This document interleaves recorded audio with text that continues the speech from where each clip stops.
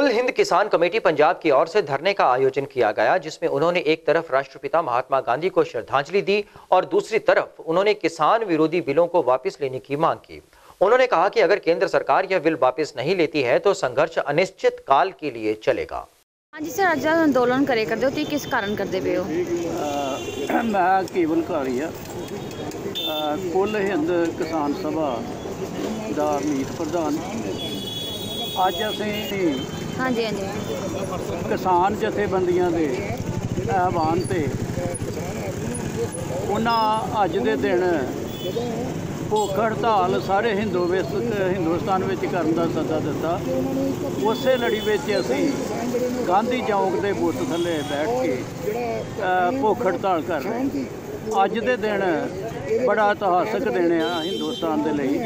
ਅੱਜ ਦੇ ਦਿਨ ਆਰਐਸਐਸ ਦੇ ਆਦਮੀ ਨੱਥੂ ਰਾਮ ਗੌਂਡਸੇ ਨੇ ਮਹਾਤਮਾ ਗਾਂਧੀ ਦਾ ਕਤਲ ਕਰ ਦਿੱਤਾ ਸੀ। ਇੱਕ ਤੇ ਅਸੀਂ ਉਹਨਾਂ ਨੂੰ ਸ਼ਰਧਾ ਦੇ ਫੁੱਲ ਭੇਟ ਕਰਨਾ ਚਾਹੁੰਦੇ ਆ ਸ਼ਰਧਾ ਦੇ ਫੁੱਲ ਭੇਟ ਕਰਨ ਵਾਸਤੇ ਆਏ ਆ ਦੂਸਰਾ ਦੂਸਰਾ ਅਸੀਂ ਕਿਸਾਨ ਜਥੇਬੰਦੀਆਂ ਦੇ ਸੱਦੇ ਉੱਤੇ ਅੱਜ ਭੁੱਖ ਹੜਤਾਲ ਕਰਨ ਜਾ ਰਹੇ ਹਾਂ। ਧਰਨਾ ਦਿੱਤਾ, ਕਿਉਂ ਦਿੱਤਾ, ਕਿਸ ਕਾਰਨ ਦਿੱਤਾ, ਇਹ ਦੱਸੋ। ਇਹ ਧਰਨਾ ਜਿਹੜਾ ਵਾ, ਲਗਭਗ ਸਾਰੇ ਸਾਰੇ ਹਿੰਦੁਸਤਾਨ ਦੇ ਵਿੱਚ ਹੀ ਦਿੱਤਾ ਜਾ ਰਿਹਾ। ਇੱਕ ਤੇ ਅੱਜ ਦਾ ਦਿਨ ਜਿਹੜਾ,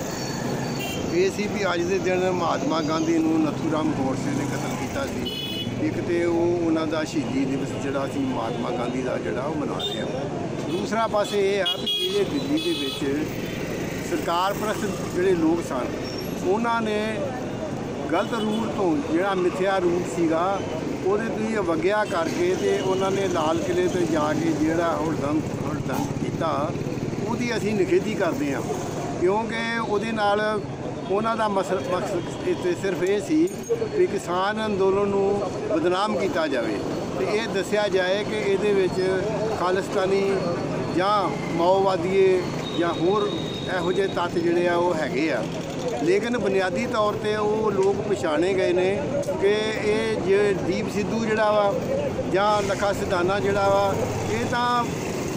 ਸਪਸ਼ਟ ਤੌਰ ਤੇ ਪਤਾ ਲੱਗ ਗਿਆ ਕਿ ਇਹ ਤਾਂ ਬੀਜੇਪੀ ਦੇ ਬੰਦੇ ਨੇ ਉਹਨਾਂ ਦੀਆਂ ਫੋਟੋਆਂ ਮੋਦੀ ਨਾਲ ਆ। ਜੋ ਦਿੱਲੀ ਵਿੱਚ ਕਿਸਾਨਾਂ ਨਾਲ ਵਤੀਰਾ ਹੋ ਰਿਹਾ ਹੈ 2 ਮਹੀਨੇ ਤੋਂ ਉੱਪਰ ਦੇ ਟਾਈਮ ਤੋਂ ਲੱਖਾਂ ਦੀ ਗਿਣਤੀ ਵਿੱਚ ਕਿਸਾਨ ਦਿੱਲੀ ਵਿੱਚ ਬੈਠ ਕੇ ਸ਼ਾਂਤੀਪੂਰਨ ਬਿਲਕੁਲ ਪੀਸਫੁਲੀ ਆਪਣਾ ਪ੍ਰੋਟੈਸਟ ਕਰ ਰਹੇ ਆ।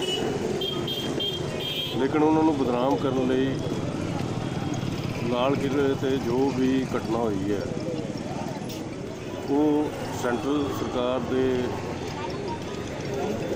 ਭੇਜੇ ਹੋਏ ਬੰਦਿਆਂ ਵੱਲੋਂ ਕੀਤੀ ਗਈ ਹੈ, ਜਿਨ੍ਹਾਂ ਵਿੱਚ ਕਿਸਾਨਾਂ ਦਾ ਕੋਈ ਹੱਕ ਨਹੀਂ ਸੀ, ਕਿਸਾਨ ਨੇਤਾਵਾਂ ਦਾ ਕੋਈ ਹੱਕ ਨਹੀਂ ਸੀ। ਲੇਕਿਨ ਫਿਰ ਵੀ ਕਿਉਂਕਿ ਇਹ ਜਿਹੜੀ ਕਾਲ ਹੀ ਇਹ ਕਿਸਾਨਾਂ ਵੱਲੋਂ ਹੋਈ, ਇਸ ਕਰਕੇ ਇਹਦੇ ਪ੍ਰਾਸ਼ਚਿਤ ਵਿੱਚ ਕਿਸਾਨਾਂ ਨੇ ਅੱਜ 30 ਜਨਵਰੀ ਨੂੰ ਗਾਂਧੀ ਜੀ ਦੇ